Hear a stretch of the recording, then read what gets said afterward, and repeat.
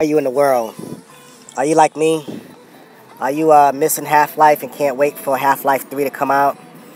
You know what? I think Half-Life 3 is going to come out maybe in 2015. You know, um, so everybody just hang on there. So if you guys like this channel, what I'm going to be doing is that I'm going to be, um, you know, uh, every day or every week or whatever, I'm going to try to, um, you know, update you guys with Half-Life 3 news. You know what I'm saying? So if you guys can stick with me, I will be there with you guys, uploading every chance I get, everything I can hear about Half-Life 3 until we get the game that we all want to come out. All right then, peace.